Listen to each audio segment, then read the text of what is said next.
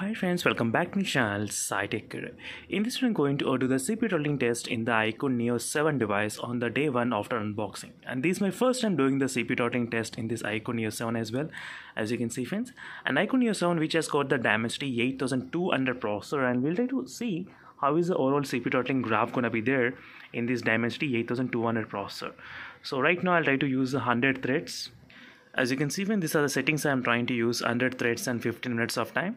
So right now I'm not using any kind of monster mode. So without using monster mode let's do the CPU throttling test.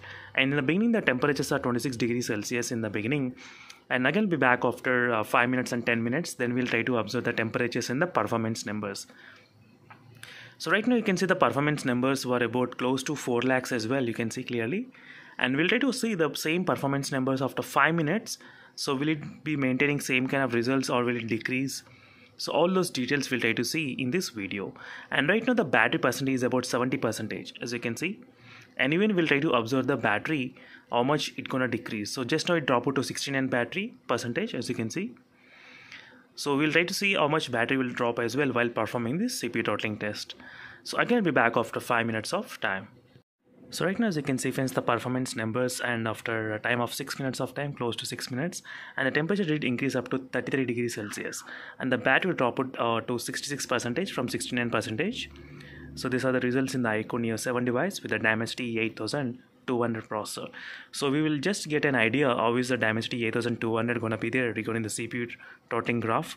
So that's the main reason I am uh, making this video. And in this test I did not use any monster mode.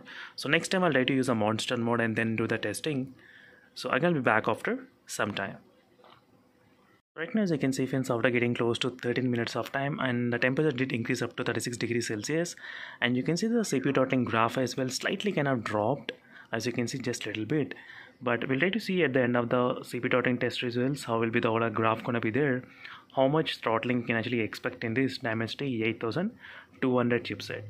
So that's what we'll try to observe and I will be back after some time. Again to check the overall temperatures and the scores. So right now as you can see these are the final results regarding the CPU throttling graph and the battery dropped up to 62 percentage from starting from 70 and 69 percentage.